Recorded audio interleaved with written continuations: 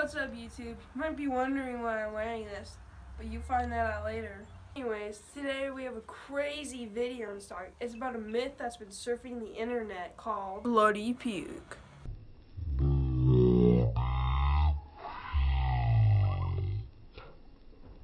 It's an old story from the 1800s when a mom poked her son's belly button so hard he started puking out blood and died. Died.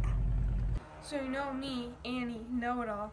We're here to prove it's false, like the story. Welcome to Annie's Proof, sponsored by Omega Scary Productions. Like and subscribe.